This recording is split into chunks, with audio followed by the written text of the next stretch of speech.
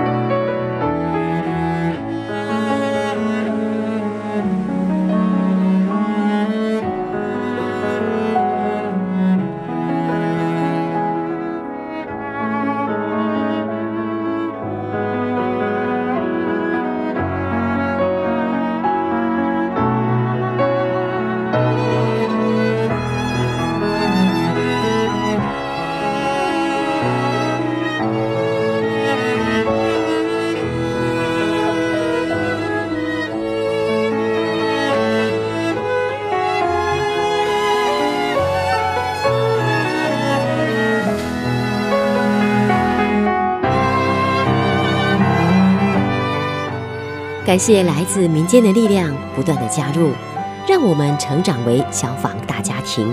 有你们真好。